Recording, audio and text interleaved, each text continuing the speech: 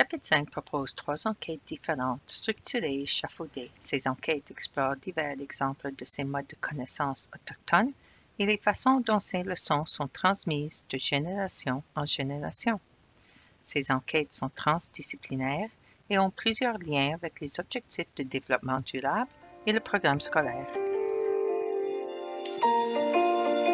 Chapitre 5 reconnaît l'importance des perspectives autochtones et des liens avec la terre et le lieu dans notre travail de réconciliation pour répondre aux appels à l'action de la Commission de vérité et de réconciliation.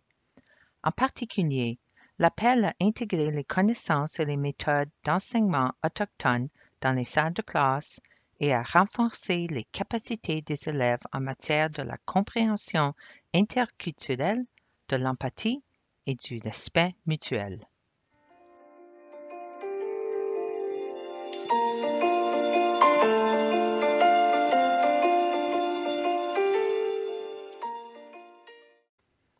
Comment aider nos élèves à comprendre que les connaissances que les aînés partagent et transmettent de génération en génération nous aident à protéger la terre-mère?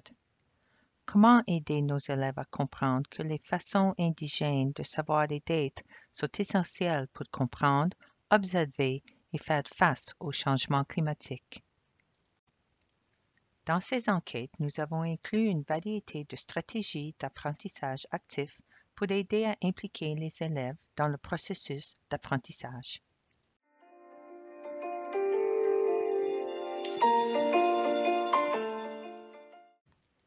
Lire des histoires aide à connecter les élèves à un problème ou à une idée.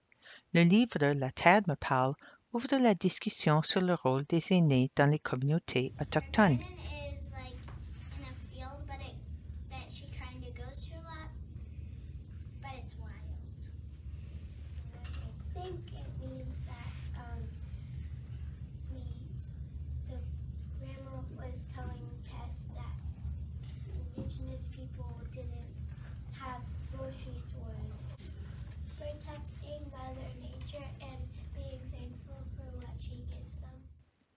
À ce stade de l'enquête, on invite les élèves à poser des questions sur le rôle de terre-mère et les merveilles naturelles des saisons.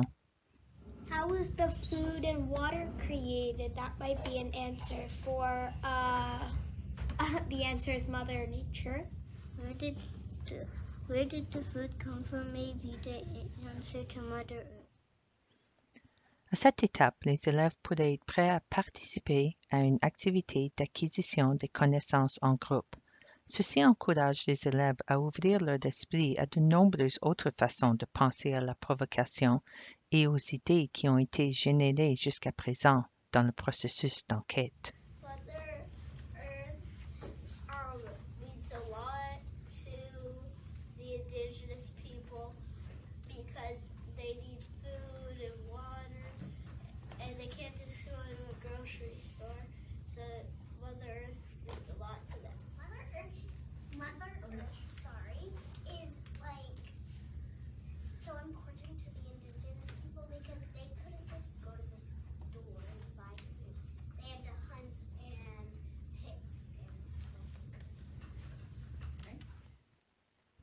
Pour aider à évaluer le niveau de compréhension des élèves, on les invite à s'exprimer comment ils sont affectés par le changement climatique.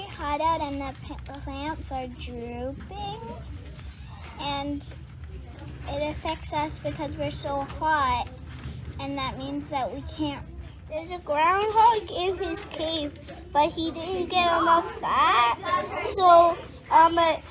He's basically, so he basically died because he's really cold and hungry.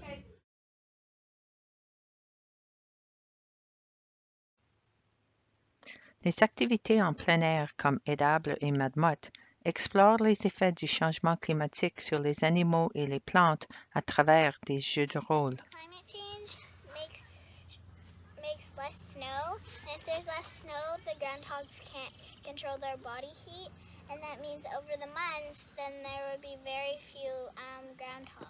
It was hard to get as much food as you're supposed to need, and the climate action keeps changing, so you need more and more food to get.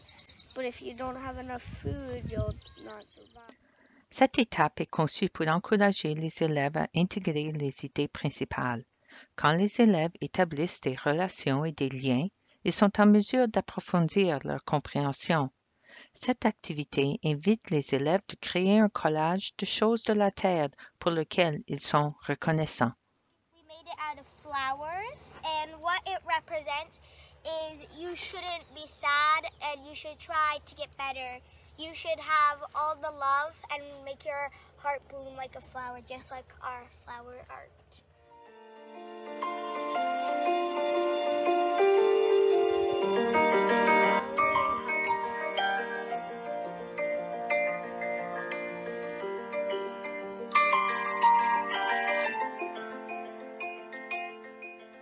Les enseignants feront appel à des méthodes multiples pour évaluer l'apprentissage à divers stades.